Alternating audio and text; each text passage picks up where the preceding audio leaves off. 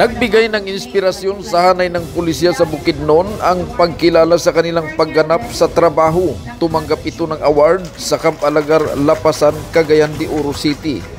Ah, salamat sa binigay na recognition ng ah, Regional Director, uh, Brigadier General Kukop sa Bukidnon na Police Provincial Office. Ah, ito ay resulta ng uh,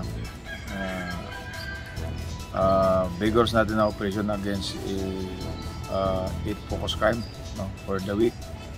Kooperasyon ng local government at gabay ng kanilang regional director ang susi ng tagumpay sa pag-address ng marching order ng Chief PNP mahuli ang mga kriminal. Lahat naman ng area ng uh, Bukidnon is uh, as peace and order is concerned. Okay naman, uh, under control naman and uh, yung mga tourist destination doon at uh, lalong pinapaganda nila at uh, iniimbita nila ang mga mga turista na bumisita sa lugar ng Bukidnon. Para sa Agila Pilipinas, Richard de la Cruz, matatag, matapang, matapat.